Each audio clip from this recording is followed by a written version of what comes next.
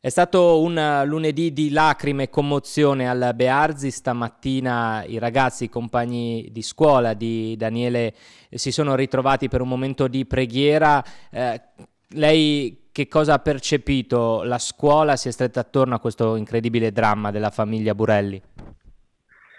Ho percepito un silenzio eh, commovente, ma un silenzio che parlava tanto e diceva quanti ragazzi seppur nella tragedia, seppur anche nella loro età, che condividono con, con Daniele, ma capiscono il valore della vita, capiscono l'importanza di ricordare Daniele e la sua famiglia in, in questo momento tanto, credo tanto faticoso.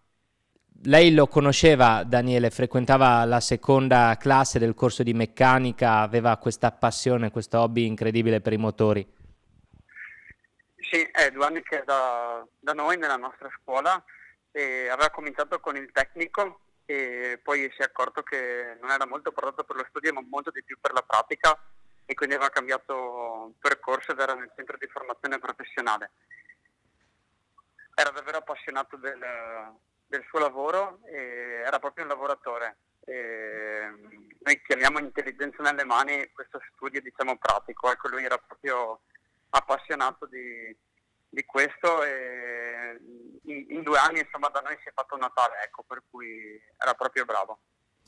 Ieri nel pomeriggio i genitori attraverso una, un appello, un monito proprio uh, con uh, i social si sono rivolti agli amici affinché queste eh, tragedie, queste bravate non si ripetano. Voi come scuola che cosa intendete fare?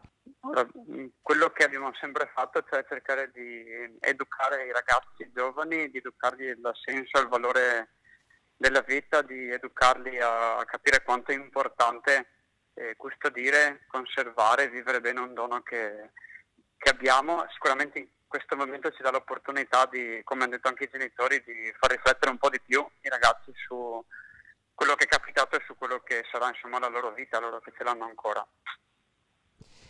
Sono previsti altri momenti di ricordo anche in giornata, giusto?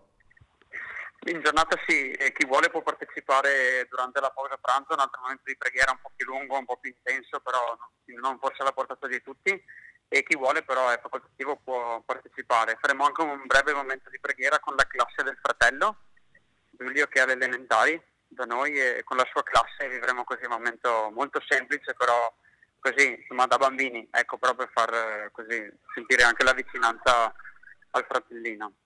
Domani avremo un momento con l'istituto tecnico, in cui comunque è stato qualche mese e anche perché l'età insomma è sempre la stessa, per cui ci fa piacere far riflettere anche loro, anche se non è più in quella scuola, ma far riflettere anche quei ragazzi sull'importanza della vita.